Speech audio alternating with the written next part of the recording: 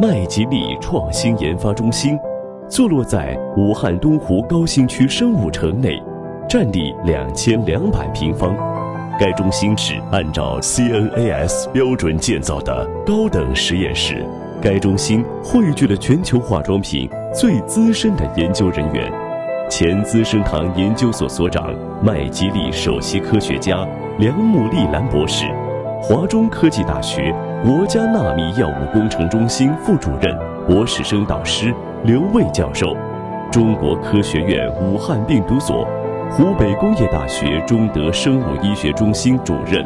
博士生导师胡康红教授。前欧莱雅美国产品研究所所长戴安娜唐博士，